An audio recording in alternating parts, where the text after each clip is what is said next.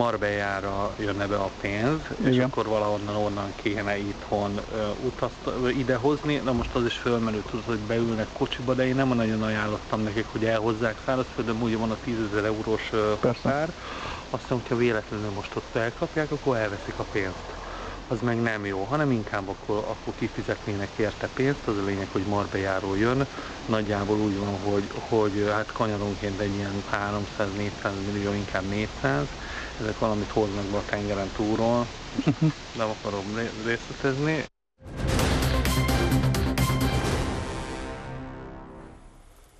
Vendégem pedig a stúdióban Budai Gyula, a Fidesz országgyűlési képviselője. Jó estét kívánok! Jó estét kívánok! Az iménti részletet Anonymous videójából idéztük vissza, és ön ismeretlen tettes ellen feljelentést tett kábítószerkereskedelem és pénzmosás büntettének gyanúja miatt.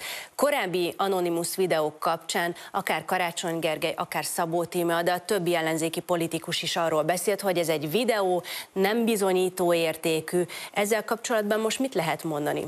Én azt gondolom, hogy ezen a hangfelvételen azok a szereplők, akik egyébként már a korábbi hangfelvételen is nevesítve lettek, teljesen élethűen és a valóságnak megfelelően mondanak el egy-egy szituációt. Ugye jelen esetben ez a hangfelvétel arról szól, hogy a dr. Fischer László nevű ügyvéd beszélget egy személlyel, és Szabó Tíme a, a párbeszéd társelnökének, a budai kampányának finanszírozásáról beszélgetnek, hogy az milyen sokba kerül, és hogy mennyi kiadás van egy ilyen kampányjal kapcsolatban.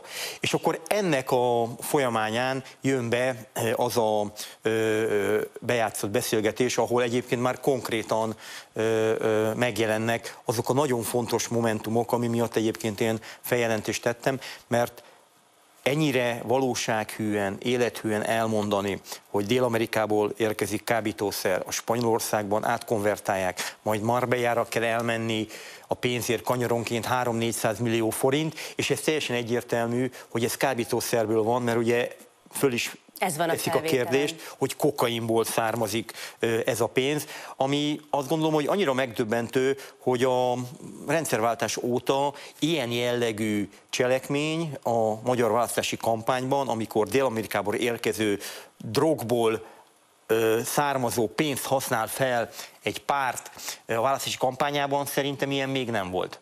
Ön azt nyilatkozta nem is olyan régen, hogy ez, ez az összeg, ez alapvetően nyilvánvaló, hogy nem egy embernek a kampányának finanszírozására elegendő, hanem több emberé. Ki mögé gondolja még ezt a pénzt? Én azt gondolom, hogy itt nem csak Szabó Tíme a kampányáról van szó, hanem sok-sok ellenzéki képviselő kampányáról, és én az elmúlt napokban egy kérdéssel fordultam az ellenzék miniszterelnök jelöltjéhez, hogy ő tudott erről, és hogy ő részesült ebből a kampány támogatásból.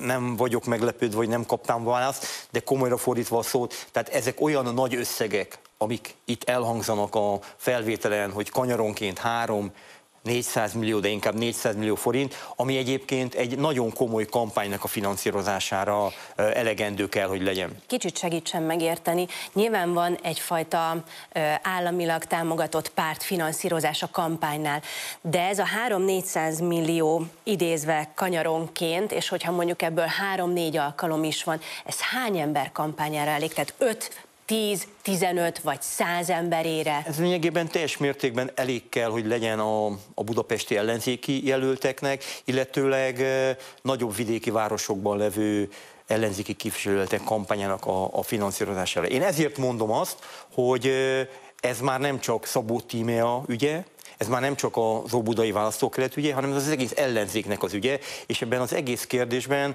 az ellenzéknek valamit mondani kéne, ugyanis szombaton reggel kijött ez a hangfelvétel, és eltelt négy nap, és senki nem válaszol semmire.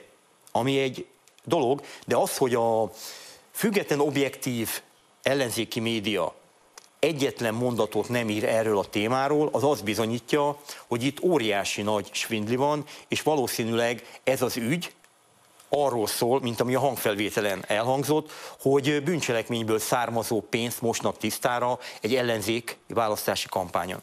Nyilvánvalóan, hogyha majd ebből az ügyből lesz egyfajta nyomozás, az időben túlmutat majd a mostani hétvégi választásokon. Hogyha bebizonyosodik, hogy ez valóban egy pénzmosás, kábítószerkereskedelemből való pártfinanszírozás, akkor annak milyen következményei lehetnek visszamenőleg? Vannak jogi következményei, meg vannak politikai következményei.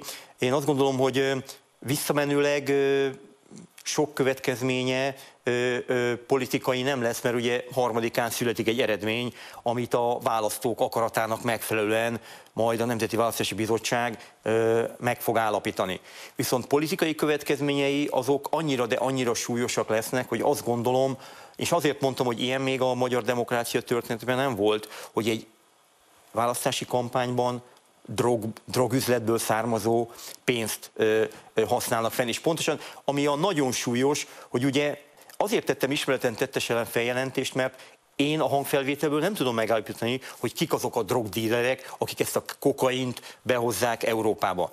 De azt már tudni vélem, hogy abban a percben, hogy az átkonvertált pénzt beér, behozzák Magyarországra, és itt használják föl, és tisztára mossák, az egy nagyon súlyos bűncselekményt, a pénzmosást valósítja meg. Tehát innentől azt gondolom, hogy ha ez bebizonyosodik, akkor azok az ellenzéki jelöltek, akik ebből részesültek, azok nagyon-nagyon súlyos büntetésre számíthatnak az igazságszolgáltatás révén. A politikai, meg azt gondolom, hogy ez olyan mértékben fog ráégni az ellenzékre, és egyébként már rá is éget, mert négy napja mindenki hallgat ebben a dologban, amiből szerintem soha nem fognak kijönni. Hallgatás beleegyezés? Van ez a régió magyar közmondás, hogy hallgatás beleegyezés, és még egyszer mondom, a Patek Gábor, a Fischer László, a Deák Robert, akik ezen a hangfelvételen szerepelnek, szerepelnek más hangfelvételeken. A Patek Gábor volt, aki Karácsony Gergely, nyári előválasztási kampányát irányította, finanszírozta. Tehát nem hiszem el, hogy a párbeszéd társelnöke nem ismeri a társelnök Karácsony Gergelynek a kampánystábjának Pedig a ezt Hát akkor óriásit hazudik, nem először Szabó Tímea, már A Media Works riporterének elismerte, vagy azt mondta, hogy nem ismeri, Jó, és hát nem vesz akkor, akkor, akkor beszéljen meg Karácsony Gergelyel, mert egy csapatban játszanak, azt gondolom. Illetőleg, hát ugye ne felejtsük el, hogy a, az a Fischer László, aki a felvételen szerepel, az meg a Kis László, óbudai DK-s polgármester feleségének az üzlettársa. Tehát én nem nagyon tudom ezeket a, a történeteket elhinni, de természetesen mindenki azt mond, amit akar, egy helyen majd igazat kell mondani a rendőrség szükségem.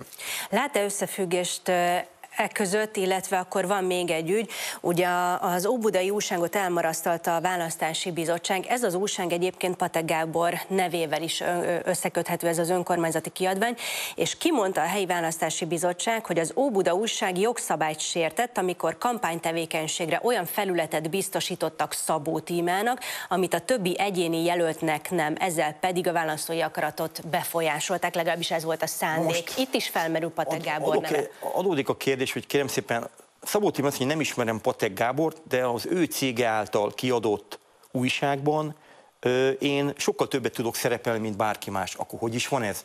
Tehát ö, azért Szóval ennyire ne nézzük már hülyének a választókat, meg ennyire nézzük hülyének az embereket. Tehát én, én, én értem, hogy Szabó Tímea nem mond semmit. Még egyszer mondom, majd amikor arra kerül a sor, hogy őt a rendőrség meghallgatja, akkor neki erről nyilatkozni kell, de itt szerintem mindenki ismer mindenkit, ugye több hangfelvétel volt, ugyanazok a szereplők, ugyanazok a módszerek, ugyanaz a baloldal. Nincs új nap alatt. Képviselő köszönöm, hogy Én is köszönöm lehetőséget.